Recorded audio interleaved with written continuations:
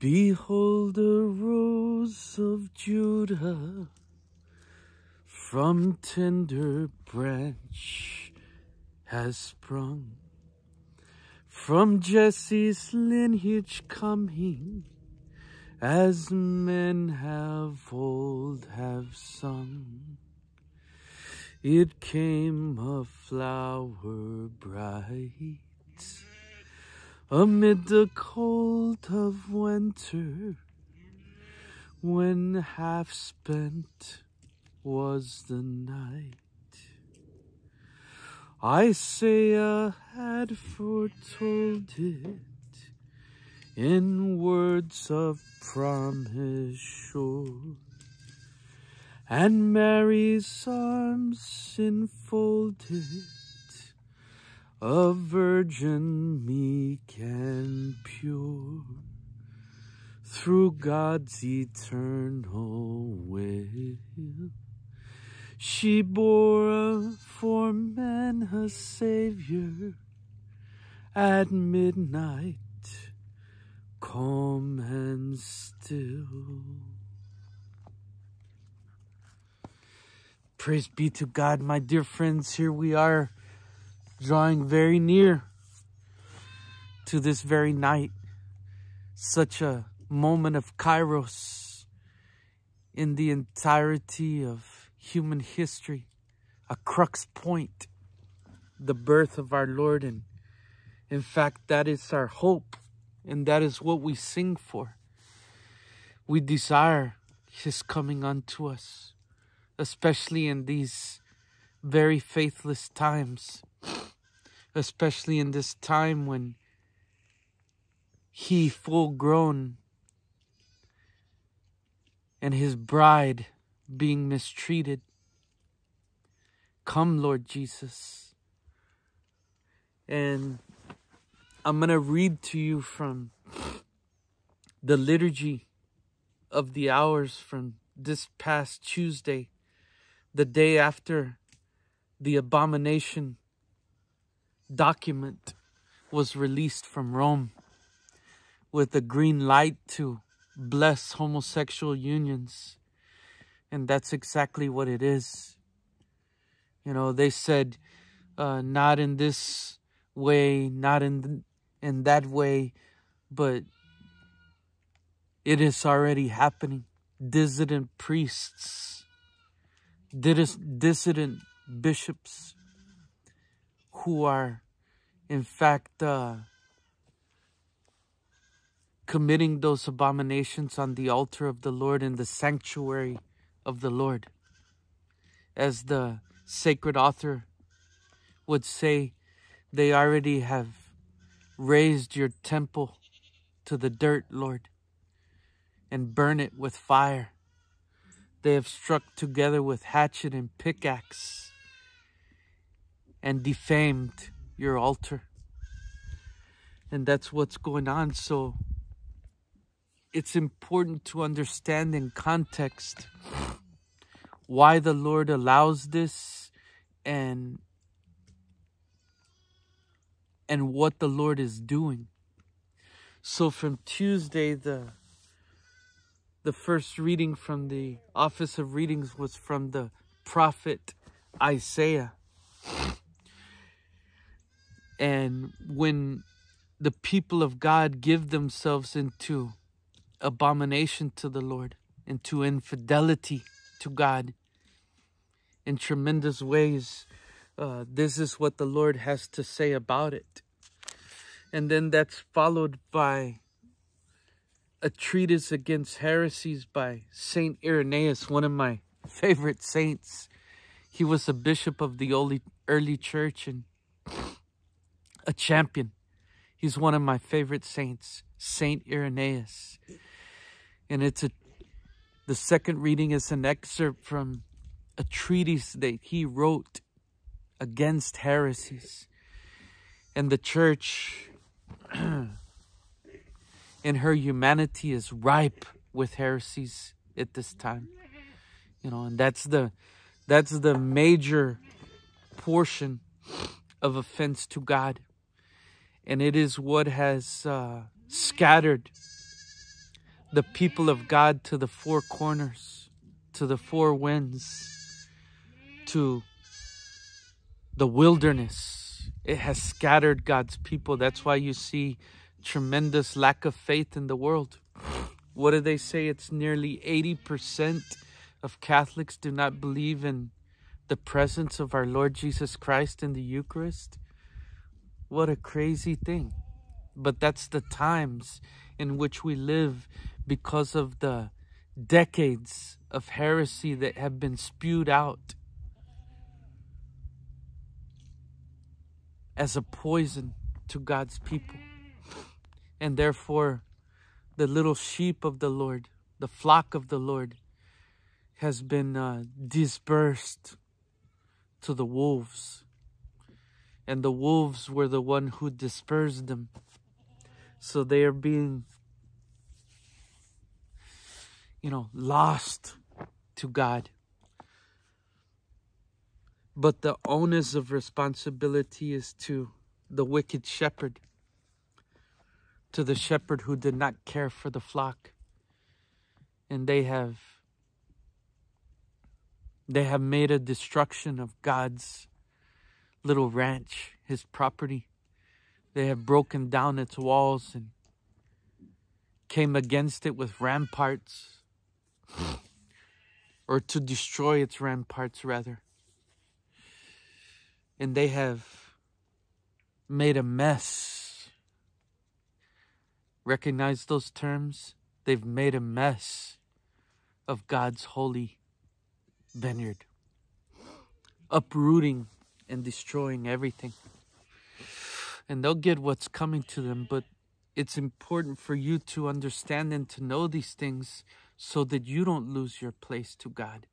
That's why it's necessary for you to understand the meaning, the substance of the words of the prophet Isaiah for our time. And to understand very clearly uh, why it is so dangerous when shepherds give themselves into heresy and when they promote heresy, when they promote lies against the truth revealed to us, there are tremendous consequences. And in knowing that, you can be strong. If you possess these knowledges and wisdoms given to us by God, you can be strong and you can endure this storm, this crisis, till when the Lord sees fit to liberate and to vindicate his holy bride anew. Because I'm telling you, these are absolutely the worst of times. But that's whenever God's grace is most beautiful to us, its light most brilliant. These are wonderful times to live, even despite their tremendous anxiety. So let's listen. And I hope that you draw strength from this and hope and even joy that you can be very happy to celebrate with joy this holy Christmas, even as the house of God is on fire because we trust to the promises of the Lord. From the book of the prophet Isaiah Come down, sit in the dust, O virgin daughter, Babylon. So the church is the virgin bride, the virgin daughter of God the Father betrothed to Christ and ratified in his nuptial commitment. He laid down his life for his bride. She belongs to him. And she is pristine in beauty and her virginity pure. But the the prophet calls her Babylon because in her humanity, that's us, the church, the people of God, worse than any imagery of prostitute that you can bring to your mind. Anything that you can imagine about nastiness of prostitution. the humanity of the church has far surpassed that as the bride of Christ. Filth, disgust to God, abhorrent to God, repugnant to God. He can't even stand the smell of the infidelity of his people because it has become ripe with infirmity and nastiness. So she needs to be purified. And that's exactly what the Lord allows through tremendous suffering which we are experiencing. And the way that the Lord always chastises his people throughout history is to remove his blessing from their leadership so that in fact they are exposed and given into hard labor to enemies. Sit on the ground, the Lord said, dethroned. You lose your place. O daughter of the Chaldeans, no longer shall you be called dainty and delicate because you have abused your beauty and you have spread what has been given beautiful to you to every passerby of the world, to the Chaldeans and to the Babylonians, to a foreign people, to people who know nothing to God. In other words, you've prostituted yourself. I will take vengeance, the Lord says. I will yield no entreaty, says our Redeemer, whose name is the Lord of hosts, the Holy One of Israel. That's the Lord. We love the Lord and we recognize his singular supremacy.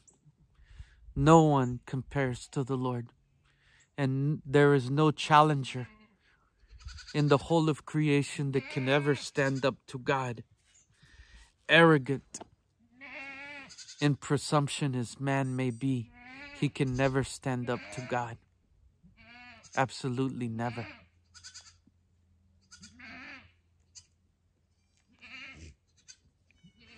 Go into the darkness and sit in silence, O daughter of the Chaldeans. No longer shall you be called sovereign mistress of kingdoms. Angry at my people, I profane my inheritance. The Lord allowed this to us because of our infidelities, because we do not keep to his commandments. And we give ourselves into every whim and notion of the world. As it said yesterday, into curiosity, we are seduced. I gave them into your hand, but you showed them no mercy. So to the enemies, to those who are enemies to God, on their part, they take advantage of the opportunity. They bend the bride of Christ over a barrel. That's what's taken place. And again, I remind you that no semblance of masculinity or strength is, is applicable to these rebels because they are sissified men. They're light in the loafers homosexuals, most, most pointedly, sodomites. So it is not a, a proper application of terms to, to define them in any way to a masculine term. But it is true that they have bent the bride of Christ over a barrel. And they believe that they have their way with her, but they will not. They will not have their way with her. Because the Lord, in His goodness, allows for suffering that we may be healed. That's always how the Lord operated. And so, what we have to endure we who who are resolved to be faithful to God, we who believe in God, that's us. We have to endure in faith this crisis. That's the bottom line of it. So you have to set your heart not to become so wearied, not to become so anxious that you that you go crazy and lose your mind, but that you patiently set yourself to endure these things, to endure them patiently, and to hold out to the end. That's what the Lord desires for us, to hold out to the end, to the time of fullness of his vindication. And, and I, I, I remind you that it will be all the more sweeter for these tremendous seasonings of sufferings. The seasoning of suffering that is upon us. Tears, salty tears that season and prepare for the great feast, the wedding feast. That's the fullness of gathering in the kingdom of heaven. I can't wait for that. Because for all the suffering that we've endured, that I've endured personally, the anxiety, uh, I also am very wearied. And tremendously, you know, there has been tremendous consequence to my mind, my heart, my body, coming to knowledge of these things and seeing it with my own eyes. But I, I resolved to trudge on forward one step at a time through the mire and through the, the grayness of these times, the death of these times with absolute confidence to the promises of the Lord that He will fulfill. The vindication, the wedding feast. Eye has not seen, ear has not heard, nor has it even dawned on the thought of man the wonders that God has prepared for those who love Him. It's amazing. You know, even in my youth when I was so innocent and unknowing to anything that was bad, and even though there was a certain poverty that I lived in because all of us do, uh, I was very happy, very blessed, having no knowledge or thought or concern for for the hardships that lied ahead for myself and for the entirety of the world. I was so oblivious to those things because I was just innocent as a child. And I was very, you know, creative in my mind and able to to have fantasies about many things, beautiful fantasies. I was free and able to run like a child free in the fields, unhampered by any dangerous thing. And so, but even at that, I could never, even in that purity, I could never imagine or even touch an imagination to the reality of the kingdom of heaven. That's our hope. That gives us drive to, to keep going. God bless the Lord. So the Lord said, I gave them into your hand, you wicked abusers. And you showed them no mercy. And upon old men you laid a heavy yoke. See, they don't care about people. They don't care about poor people. What do they call them? A basket of deplorables? You are beneath them, they think, the powers of the world and that is in the secular order and in the church. Those same sentiments uh, actually have their origin and, in greatest potency in the personages controlling the dials inside the church. They are more wicked than the wickedness of the world. It's hard to imagine, but that's true. They are more wicked than the wicked powers and persons of power in the world. Amazing. They lay heavy yoke upon the old men.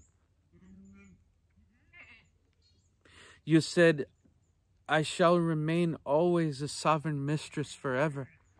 That's what you say. But in your infidelity, but you did not lay these things to heart. You disregarded their outcome, the Lord says. So you did not keep to my ways. You did not think of the Lord. And therefore you suffer.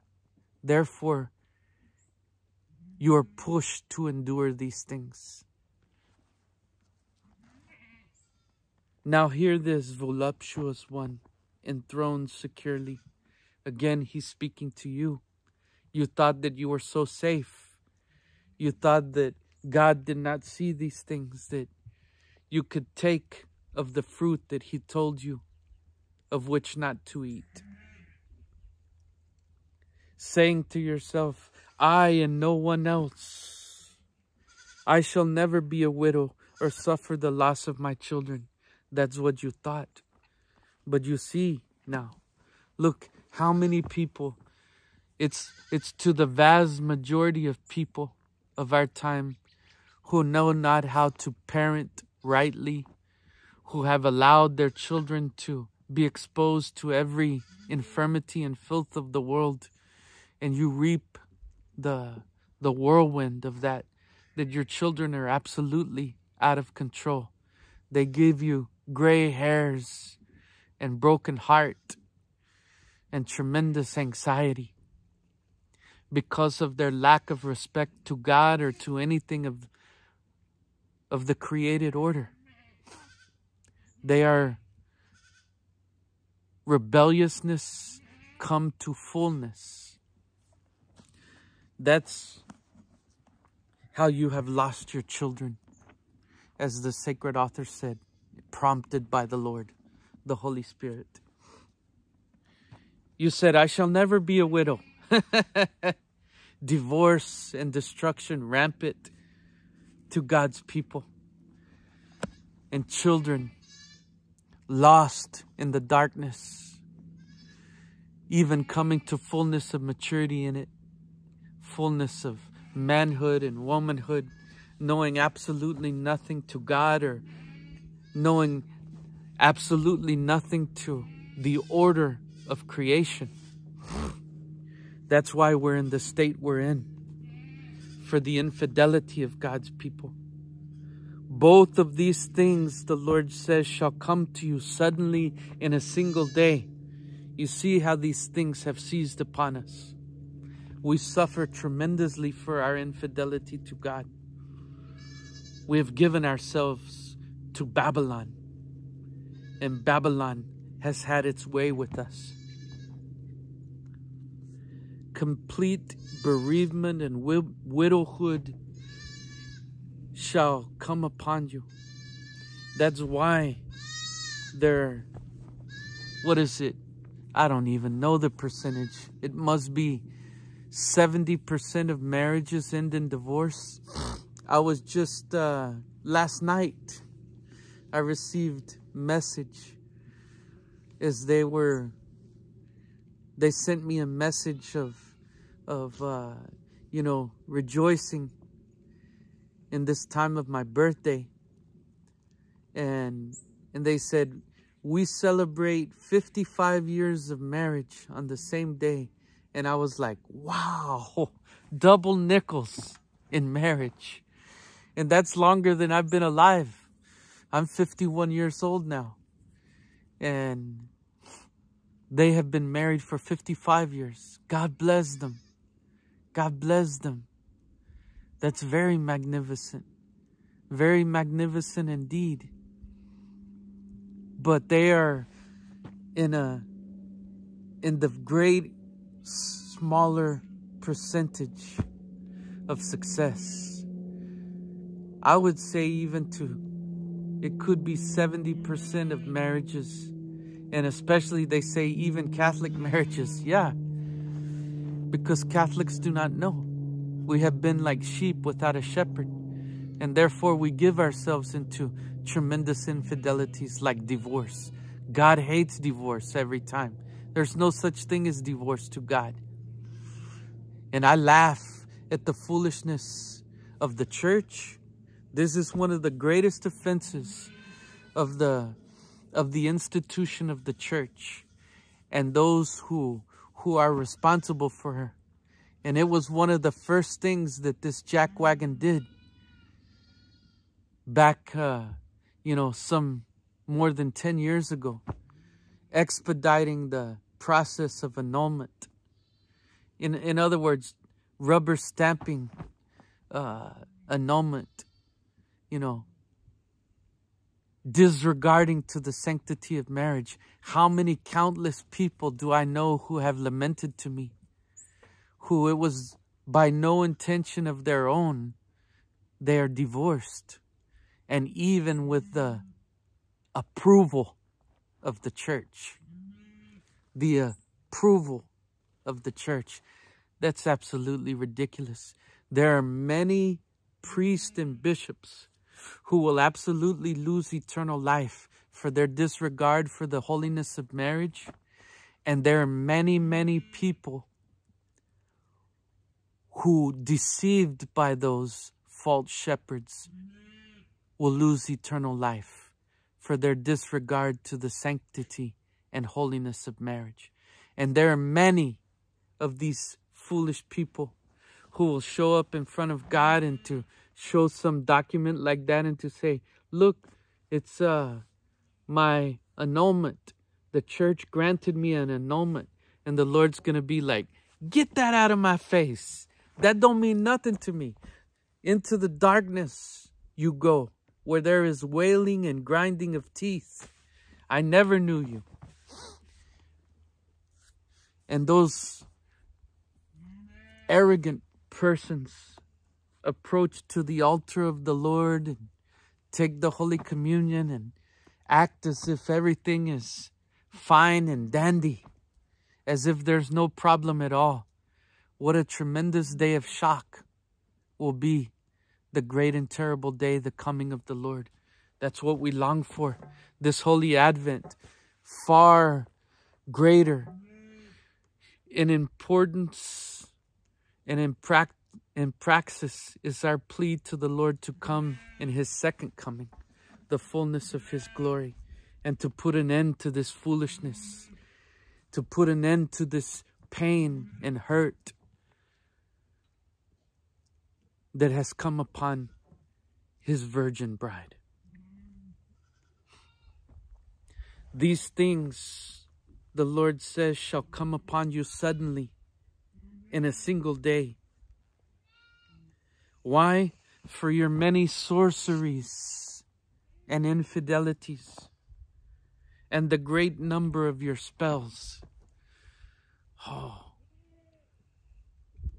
The bride of Christ has prostituted herself to demons, to sorcery, and to spells. Because you felt secure in your wickedness. you felt secure in your wickedness. It's like in the time of Noah. It said they were eating and drinking, marrying and giving into marriage right up until the day that the first drop of rain came from the heavens in the deluge. That for 40 days and for 40 nights it did not stop raining. Can you imagine how they were clamoring to the highest places they could find and then inundated by that purge? Only Noah and his family and those creatures in the ark were were saved.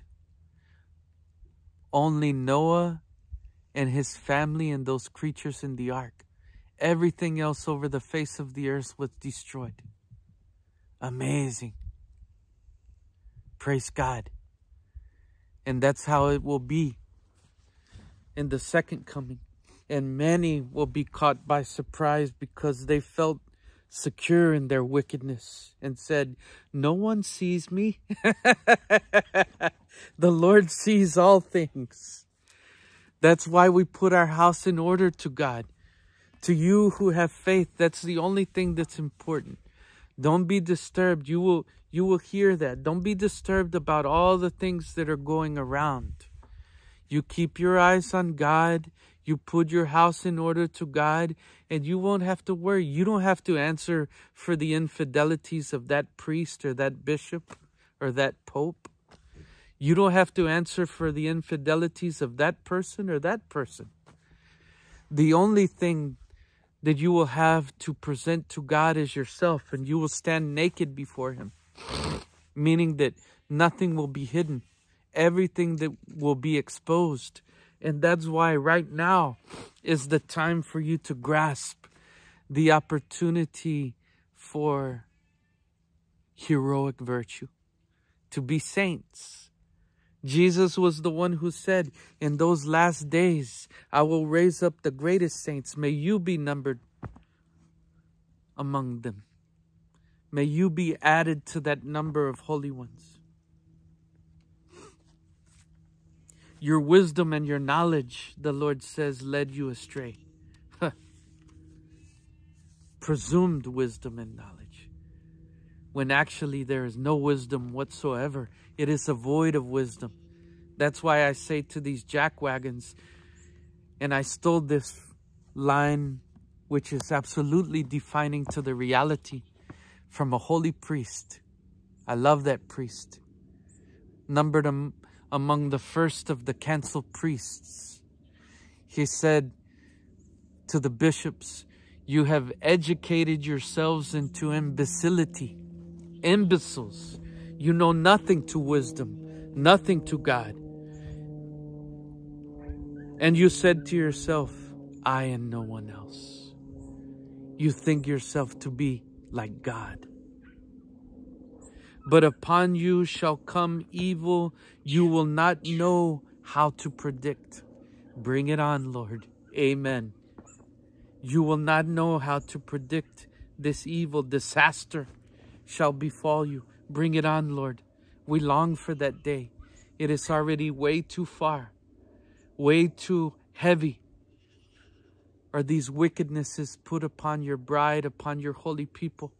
I know so many beautiful, faithful people who are so stressed out and distressed over this abomination document that came out of Rome.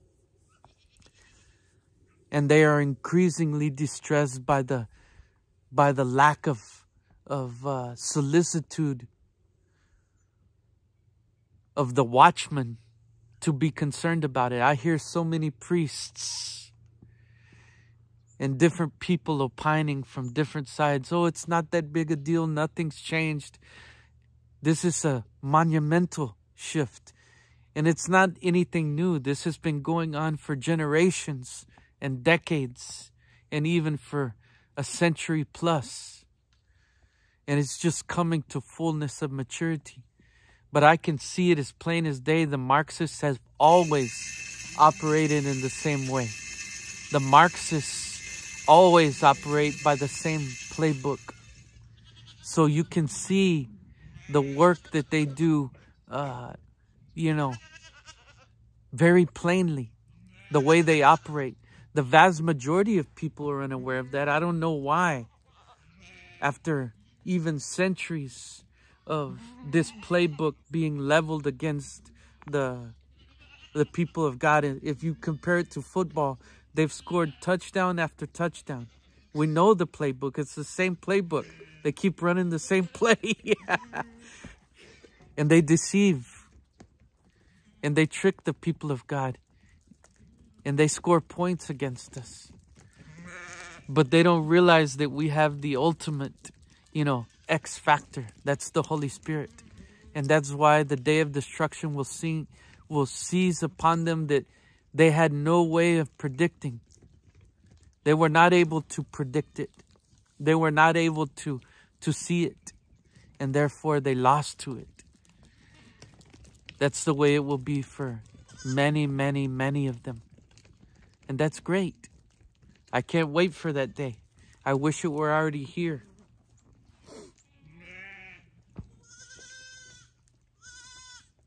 Disaster shall befall you, which you cannot allay. Suddenly there shall come upon you ruin which you will not expect. Bring that ruin upon their wicked heads, Lord.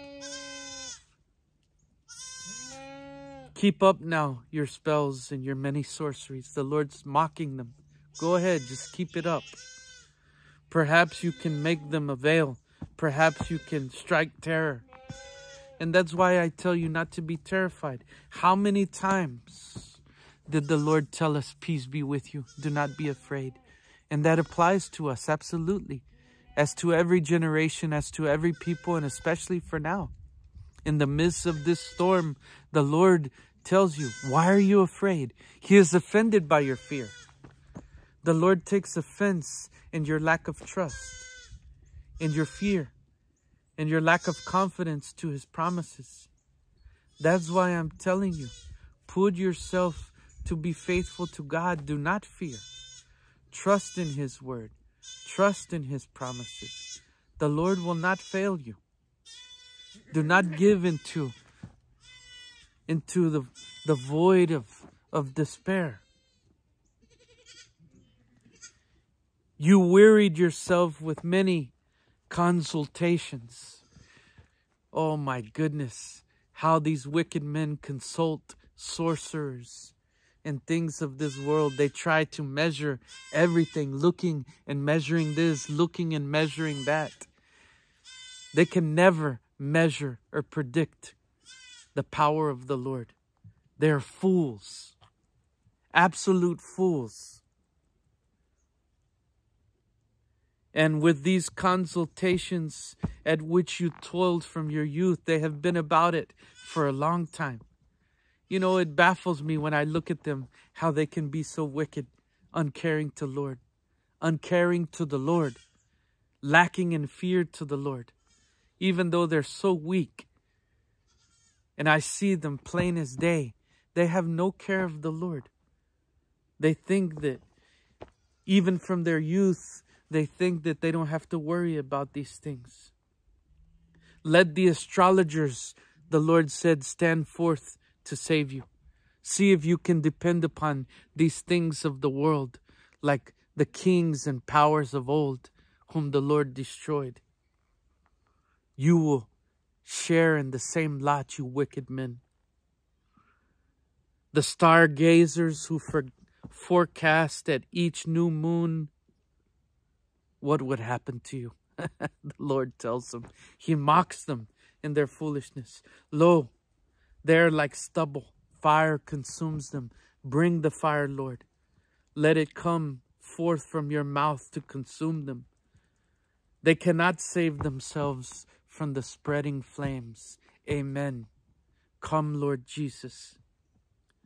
Thus do your wizards serve you, you impostors, to the seats of the Lord, with whom you have toiled from your youth See, they toil with their wizards and soothsayers, but never is truth found in them.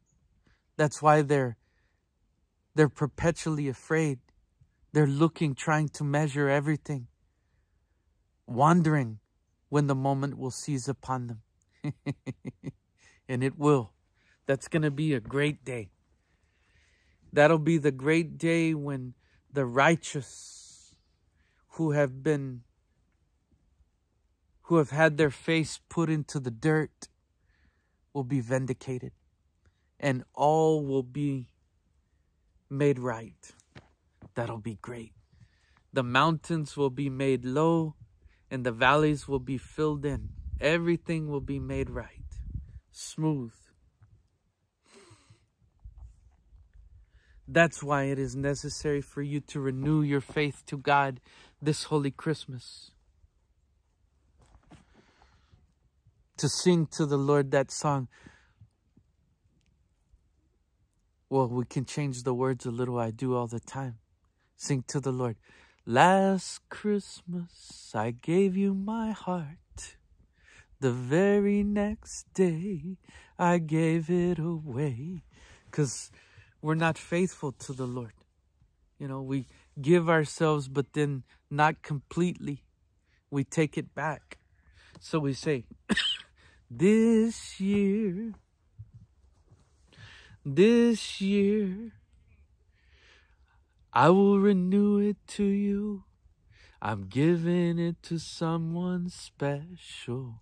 That's you, Lord. And hopefully, you know, we say to the Lord, hopefully for good, for keeps, for keeps, Lord.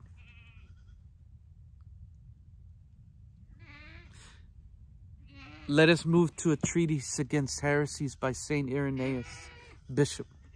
Lord, we praise you for this holy bishop. And we ask you in your mercy to give us holy bishops like an army to put the house of God in order, to put these foolishness down forever. The plan of redemption through the incarnation. God is man's glory. St. Irenaeus says that's true. He's the only glory of man.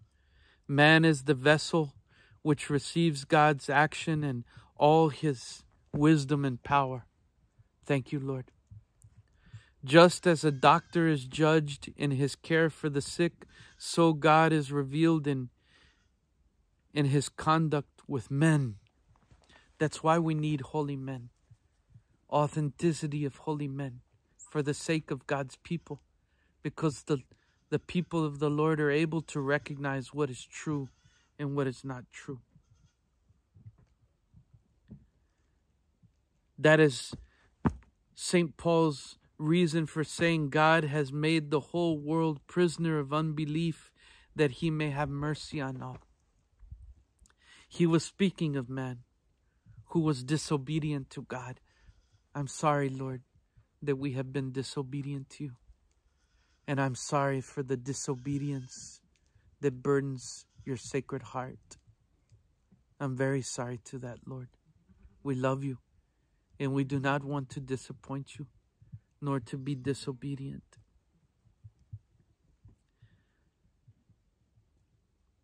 For man has cast off from morality. Let him cast off his immorality, that he may find favor, find mercy with you, Lord. If man, without being puffed up or boastful, has a right belief regarding created things and their divine creator, that's why we we cannot al allow our hearts to be puffed up. We become too prideful, think ourselves to be God, and that's where we get in big trouble.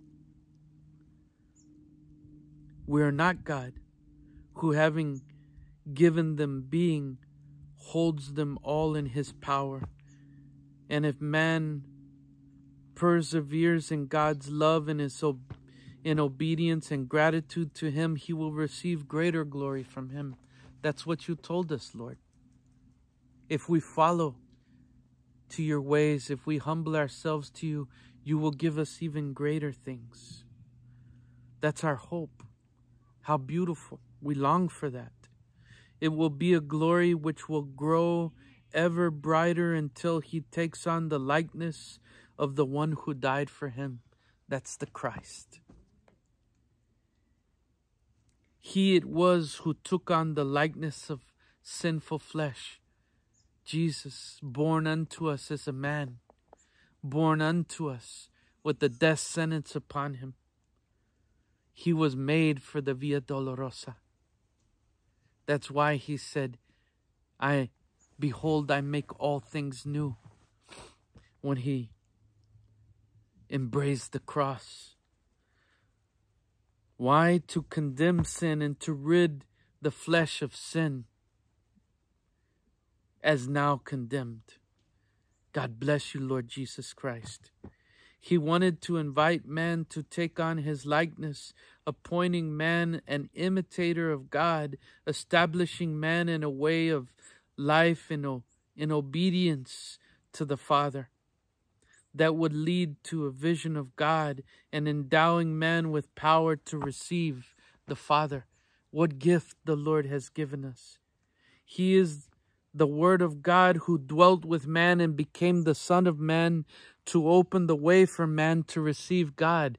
These are thoughts in right order. This is what has been revealed to us. For God to dwell with man. This is freedom. This is fullness of blessing. This is prosperity. And that's why I want you to renew your life to God as a people so that you're no longer just bound in slavery, but that you may live according to the will of the Father, free-born and prosperous. For this reason, the Lord Himself gave as the sign of our salvation the one who was born to the Virgin. Emmanuel, God is with us. That's our Lord Jesus Christ. It was the Lord Himself who saved them, for of themselves they had no power to be saved. We can never save ourselves. Although as cowboys we have that saying, you know, I pull myself up by my bootstraps. And in a certain way, I mean, that's absolutely true here in the natural order, but we will never be able to save ourselves. No, no cowboy can save himself, much less any person who is less than a cowboy. oh, we love the American cowboy. What a, what a great thing. The Lord loves the American cowboy. For this reason, Paul speaks of the weakness of man and says, I know that no good dwells in my flesh. We recognize that, Lord. That reminds us always that we're not gods. Our own flesh, when we look in the mirror daily, we're reminded, in fact, we ain't God. He means that the blessing of our salvation comes not from us, but from God. Yes. Again, he says, I am a wretched man who will, who will free me from this body doomed to die. I say that a lot to myself, especially that I'm 51 and I recognize the progressive loss of strength little by little that comes to my mind, my body, to all things.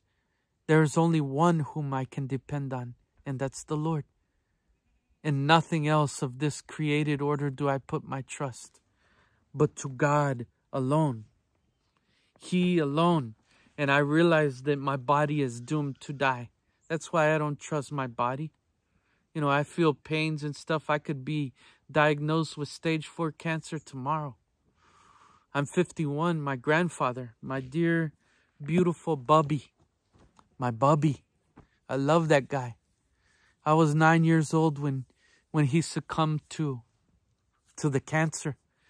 And he was a only the tender age of 54 he was the greatest guy ever. Love that guy. I've offered many many holy masses for him. And i cried and cried when he died me and my brother.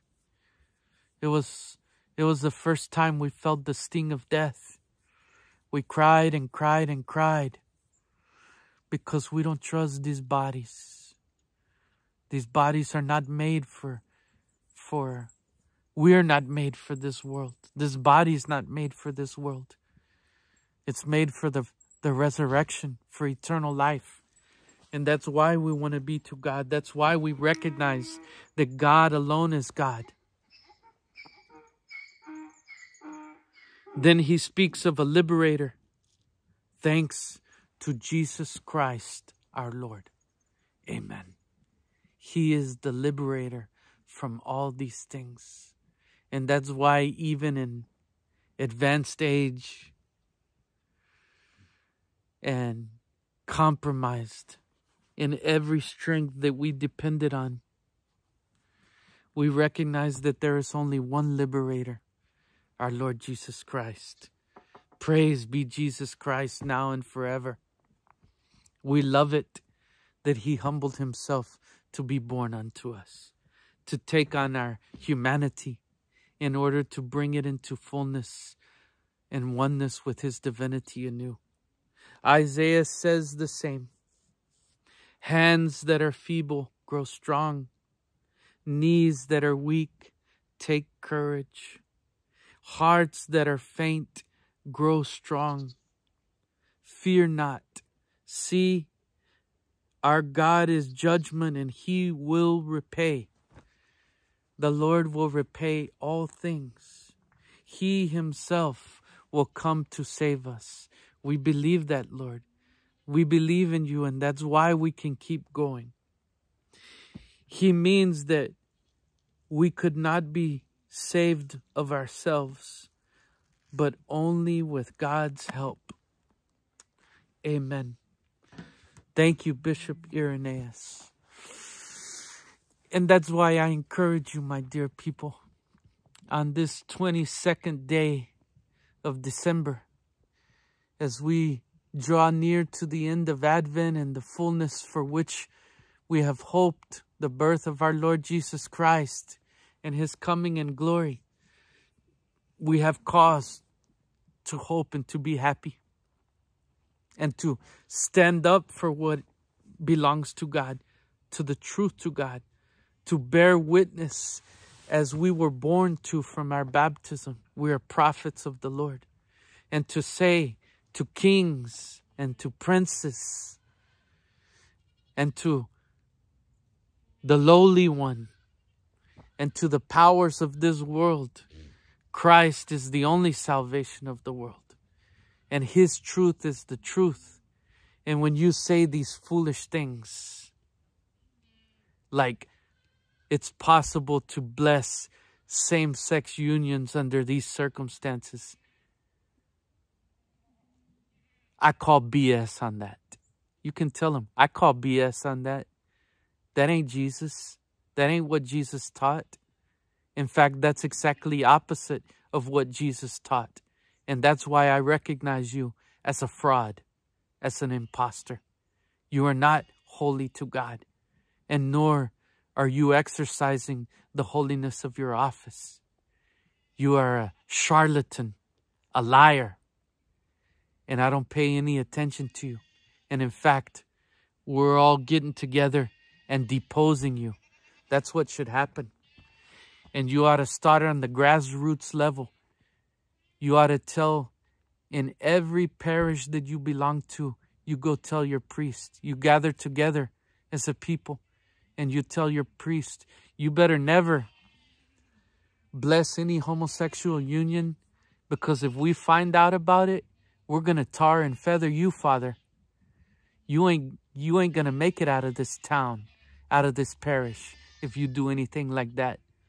And you ought to gather together in groups of thousands and go to the chancery and knock on the door and wait for that bishop with knees trembling, knocking together to come to the door, pull him outside and to tell him, You tell all the people of our diocese that there is no such thing as blessing of homosexual unions. There's no such thing as blessing sodomy.